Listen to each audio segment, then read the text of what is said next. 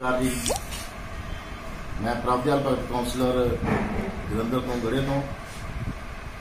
ਮੈਂ ਤਾਂ ਨਾਲ ਜਿਹੜੀ ਗੱਲ ਸਾਂਝੀ ਕਰਨ ਜਾ ਰਿਹਾ, ਉਹ ਇਹ ਕਾਫੀ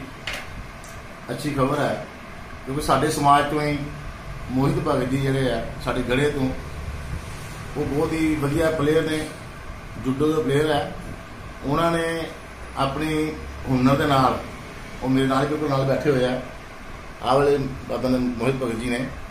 ਇਹਨਾਂ ਨੇ ਆਪਣੇ ਹੁਨਰ ਦੇ ਨਾਲ, ਆਪਣੀ ਤਾਕਤ ਦੇ ਨਾਲ ਇਹਨਾਂ ਨੇ ਨੈਸ਼ਨਲ ਜਿਹੜੀ ਗੇਮ ਹੋਈਆਂ ਨੈਸ਼ਨਲ ਗੇਮਾਂ ਵਿੱਚ ਉਹਨਾਂ ਨੇ ਗੋਲਡ ਮੈਡਲ ਲਿਆ ਔਰ ਇਹਨਾਂ ਨੇ ਆਪਣੇ, ਹੁਣ ਇਹਨਾਂ ਨੇ ਜਿਹੜੀ ਕਾਮਨਵੈਲਥ ਹੋ ਰਹੀਆਂ ਨੇ ਇੰਗਲੈਂਡ ਦੇ ਵਿੱਚ,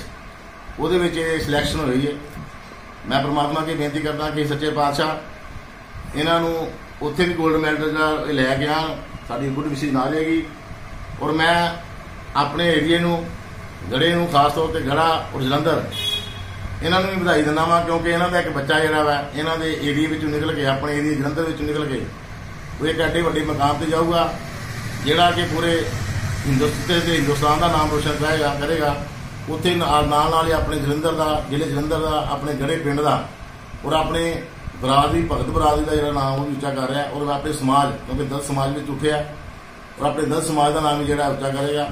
ਮੈਂ ਆਪਣੇ ਵੱਲੋਂ ਇਹਨਾਂ ਦੇ ਪਰਿਵਾਰ ਜਿਹੜੇ ਇਹਨਾਂ ਦੇ ਪਿਤਾ ਜੀ ਲਾਂਬਾ ਜੀ, ਉਹ ਮੇਰੇ ਅੱਛੇ ਬੜੇ ਦੋਸਤ ਨੇ।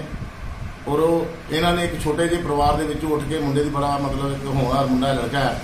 ਆਪਣੇ ਛੋਟੇ ਪਰਿਵਾਰ ਤੋਂ ਉੱਠ ਕੇ ਵੀ ਜਿਹੜਾ ਉੱਪਰ ਜਾ ਰਿਹਾ ਮੈਂ, ਇਹਨਾਂ ਨੂੰ, ਇਹਨਾਂ ਨੇ ਪੂਰੇ ਪਰਿਵਾਰ ਨੂੰ ਲੱਖ ਲੱਖ ਵਧਾਈ ਦੇਣਾ। ਔਰ ਅਪੀਲ ਵੀ ਕਰਨਾ ਚਾਹੁੰਦਾ, ਸਾਰਿਆਂ ਨੂੰ ਬੇਨਤੀ ਕਰਨਾ ਚਾਹੁੰਦਾ ਕਿ ਆਪਾਂ ਵੱਧ ਤੋਂ ਵੱਧ ਇਸ ਬੱਚੇ ਦਾ ਜਿਹੜਾ ਉਹ ਸਾਥ ਦਈਏ। ਤਾਂ ਜੋ ਇਹ ਅੱਗੇ ਜਿਹੜਾ ਆਪਣੀ ਗਰੀਬੀ ਤੋਂ ਉੱਠ ਕੇ ਉੱਪਰ ਜਾ ਰਿਹਾ ਵੈ, ਉਹ ਆਪਣਾ ਜਿਹੜਾ ਆਉਣ ਵਾਲਾ ਫਿਊਚਰ ਜਿਹੜਾ ਵੈ ਉਹਨੇ ਚੰਗਾ ਬਣ ਪਾਏ। ਮੈਂ ਸਾਰਿਆਂ ਨੂੰ ਇੱਕ ਵਾਰ ਦੁਬਾਰਾ ਇਹ ਬੇਨਤੀ ਕਰਨਾ ਵਾ ਕਿ ਵੱਧ ਤੋਂ ਵੱਧ ਜਿਹੜਾ ਇਸ ਬੱਚੇ ਦਾ ਜਿਹੜਾ ਵਾ, ਉਹ ਸਾਥ ਦਿੱਤਾ ਜਾਵੇ। ਧੰਨਵਾਦ ਜੀ।